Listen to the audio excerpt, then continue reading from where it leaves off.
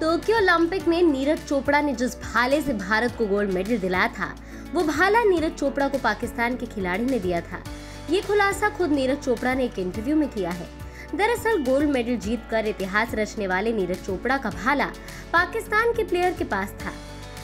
नीरज ने javelin throw के final में सतासी दशमलव पाँच आठ दूर भाला फेंक कर भारत को एथलेटिक्स में पहला गोल्ड दिलाया था। लेकिन फाइनल से पहले नीरज के लिए सब कुछ ठीक नहीं था। उन्हें अपना जैवलिन नहीं मिल रहा था। ऐसा इस वजह से हुआ था क्योंकि उनका जैवलिन पाकिस्तान के अरशद नदीम के पास था। नीरज चोपड़ा ने टाइम्स ऑफ़ इंडिया को दिए इंटरव्यू में बताया है कि मैं फाइनल की शुरुआत से पहले अपना जैवलिन तलाश कर रहा था। मुझे वह मिल नहीं रहा था। अचानक मैंने देखा कि अरशद नदीम मेरे जैवलिन के साथ घूम रहा है।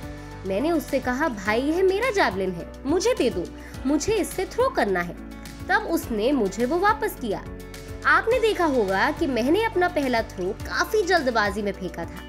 नीरज ने आगे बताया कि अरशद नदीम ने क्वालिफाइंग राउंड में बहुत अच्छा प्रदर्शन किया। उन्होंने फाइनल में भी बढ़िया खेल दिखाया।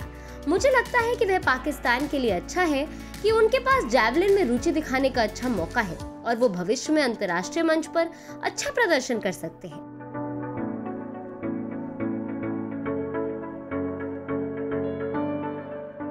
नीरज ने पाकिस्तान के लोगों को एक संदेश भी दिया और कहा कि अरशद नदीम को सपोर्ट करें। उन्होंने पाकिस्तान को जैवलिन में पहचान दी है और उसे आपके सहयोग की ज़रूरत है।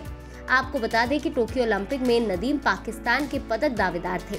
लेकिन चौरासी दशमलव छह दो का उनका सर्वश्रेष्ठ थ्रो मेडल के लिए पर्याप्त नहीं था। इससे पहले अरशद नदीम ने पचासी दशमलव एक छह मीटर के थ्रो के साथ फाइनल के लिए क्वालिफाई किया था। वह ग्रुप बी में तीसरे नंबर पे थे। अरशद नदीम नीरज चोपड़ा को अपना आदर्श बता चुके हैं। ओलंपिक की आधिकारिक वेबसाइट के प्लेयर प्रोफ़ाइल सेक्शन में नदीम ने नीरज चोपड़ा को अपना हीरो बताया है। नदीम पहले पाकिस्तान एथलीट हैं, जिन्होंने ओलंपिक में किसी भी ट्रैक और फ़ील्ड इवेंट के फाइनल के लिए क्वालिफाई किया। टोक्यो ओलंपिक के फाइनल से पहले नीरज चोपड़ा और अरशद नदीम का पहले भी सामना हो चुका था, जहाँ दोनों के बीच कड़ी टक्कर देखने को मिली थी। नदीम ने साल 2016 में भारत में आयोजित दक्षिण एशियाई खेलों में कांस्य पदक जीता था। स्वर्ण पदक नीरज चोपड़ा के नाम रहा था। इसके बाद नदीम ने एशियाई खेलों में रजत पदक जीता।